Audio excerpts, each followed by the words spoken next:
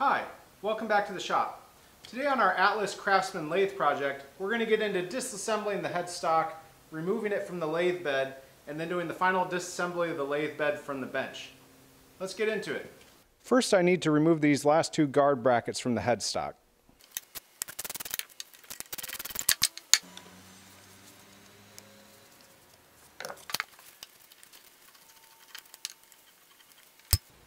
Now I'm going to remove the forward and reversing gears. There's just a nut on the back and then it's a shouldered bolt that the gear sits on.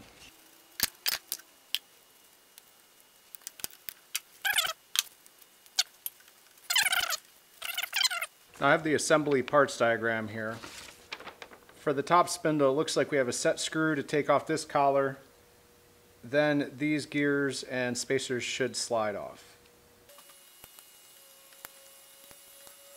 After some further review, it sounds like this collar here is threaded, hence the flats, and that's what tightens down to load the bearings. So I've got my spindle lock. We'll attach it on that gear, and then we'll gently try to back this collar off. Well, that spindle lock's for the wrong direction, so we'll install it on the back side.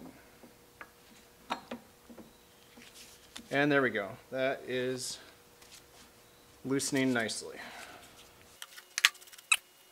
If you don't have one of these, I picked it up on eBay. They're a dime a dozen. Or their files are on Thingiverse. You can make one yourself. I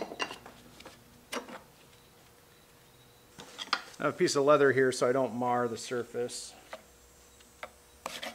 of this collar. There we go. Next should be the roller bearing. But we can get that once we slide the shaft out. Now here, as I showed you in the intro video, is this uh, gear that's broken off the pulleys. This is what would drive the back gear. Uh, and I did find a replacement on eBay, so I've got that ready to go. But next, we have a lock collar here, and then there's a uh, set screw on this main gear that we'll need to remove, and then the shaft should slide out through the front of the headstock. Should being the operative word. Disengage the back gear, make things a little easier. Now hopefully these set screws haven't raised a burr on the spindle because they usually do and that always makes the collars a pain to slide.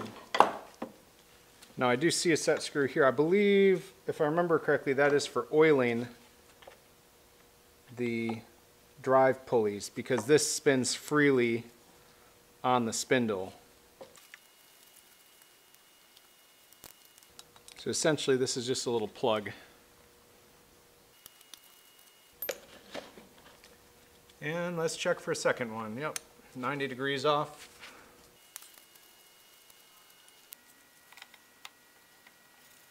That collar does not want to budge.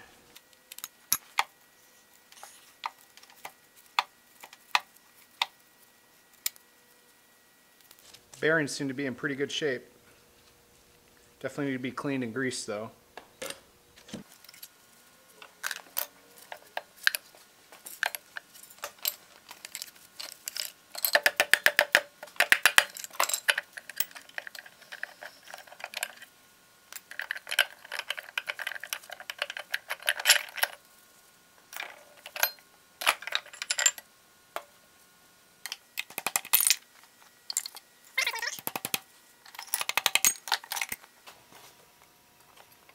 Luckily, it's magnetic.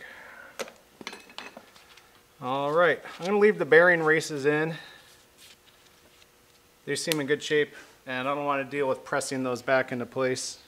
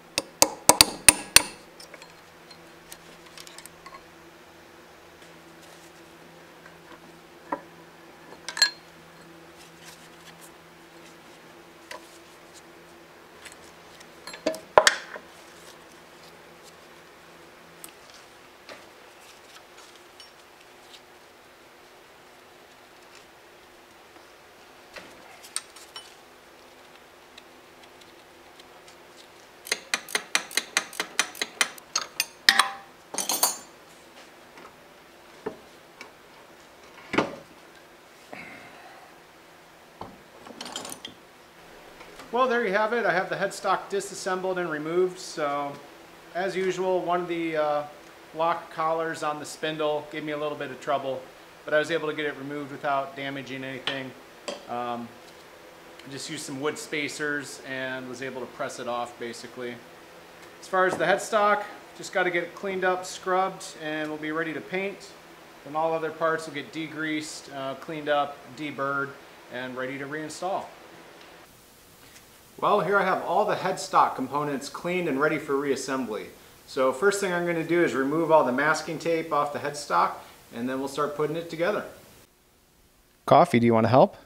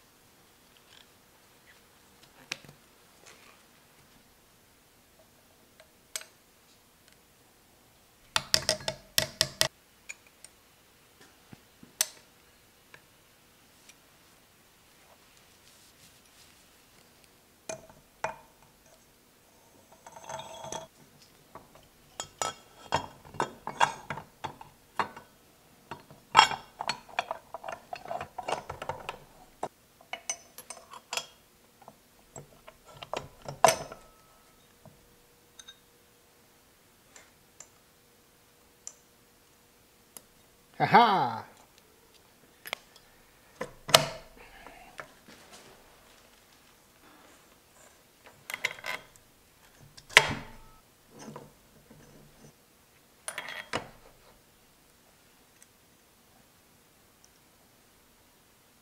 Aha, fool me once.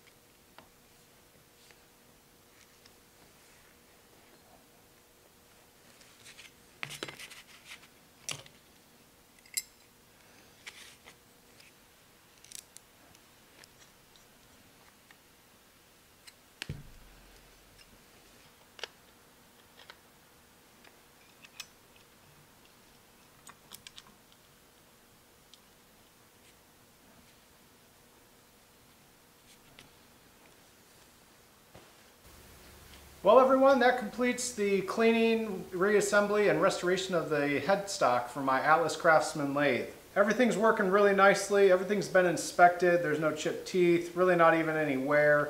Uh, all the bushings look good and everything moves nice and freely. So really happy with those results. The main repair on this was replacing this uh, drive pulley cone or drive cone and then the gear that drives the back gear. This is the original as you can see the gear has broken off the pulley cone. I found this replacement off eBay. It's in great condition. Got that installed. Now in normal lathe operation, when you're not using the back gear, your motor drives this uh, cone pulley, which spins freely, but to drive it without back gear, you engage the pin on this bull gear. This bull gear is keyed to the spindle and so therefore your belt drives this pulley, the pulley drives this gear, which is key to the spindle, which spins the chuck. So that's for your normal operation. For back gear operation, you pull the pin out, so this cone spins freely, and then I have to lift this up, you engage the back gear, and so now your belt drives this cone pulley, the cone pulley drives this drive gear, this gear drives the large back gear, which is connected on the spindle or on the shaft down below to a small gear, and that's keyed together. And then that small gear drives the main gear on the spindle here. As you can see, if I turn the cone pulley, this gear drives the back gear shaft, which in turn drives this gear, which is keyed to the spindle, which rotates the spindle. So that's all working normally now. So I'll have a functional back gear, which will be great for working on projects. And uh, that's pretty much it. So anyways, in the next video, we'll get uh, into doing the final reassembly of the lathe and hopefully make some chips.